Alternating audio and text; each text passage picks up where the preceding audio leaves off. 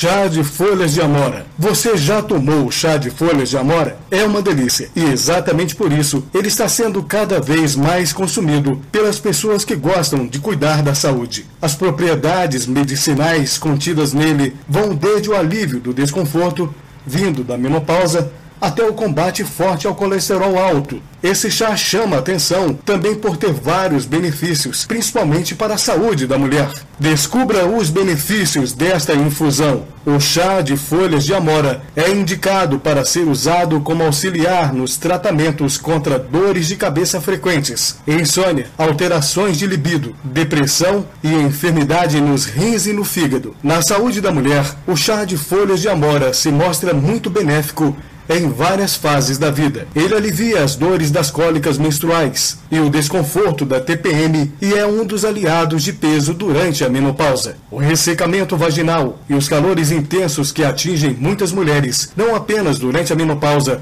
são amenizados com o consumo do chá, que combate também a hipertensão e a glicose em excesso no sangue. Quem sofre com dores musculares frequentes, bem como quem sofre com problemas de memória, devem consumir esta infusão. No emagrecimento, o chá de folha de amora também é parceiro. Ele combate a diabetes e o colesterol alto, além de ser um ótimo regulador intestinal. Por conter muitos antioxidantes, o chá evita o envelhecimento das células do corpo e melhora a aparência da pele e do cabelo. Receitas no chá de folhas de amora. O chá é um dos meios mais eficazes de absorver as propriedades benéficas à saúde contidas nas folhas e nos frutos. E o chá de folhas de amora não fica atrás. Suas propriedades medicinais são potencializadas na infusão. Para fazê-lo é muito fácil. Basta acompanhar os seguintes passos.